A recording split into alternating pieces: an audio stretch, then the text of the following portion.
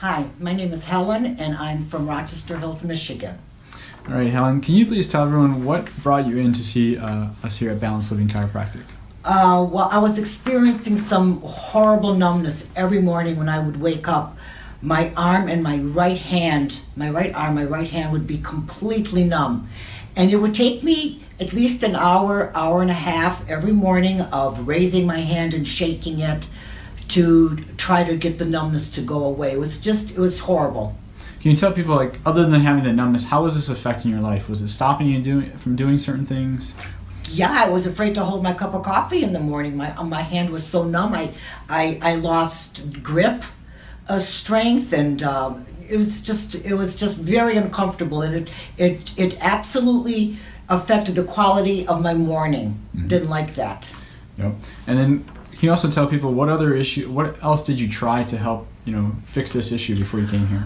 Well, um, I, I've my neck's been injured for many, many, many, many years. So throughout the years, I've tried traditional chiropractic. I've tried physical therapy.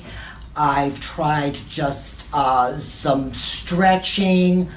Uh, anything that I would find informational, like either on the internet or, or something, I, I would buy contraptions to relieve uh, tension in my neck.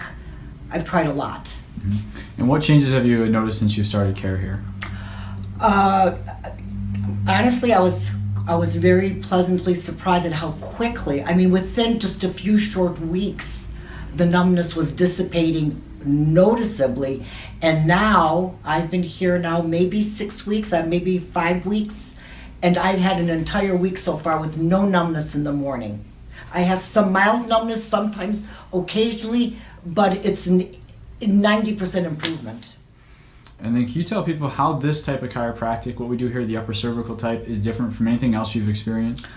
Uh, I've never experienced this before. Uh, what the method that you use, the very mild, I, I don't even know what it is you use. I haven't seen the the uh, equipment, but it's just it's just so completely different. It's very um, it's very mild. Uh, I don't tense up like I would in normal chiropractic when they would uh, manipulate me manually.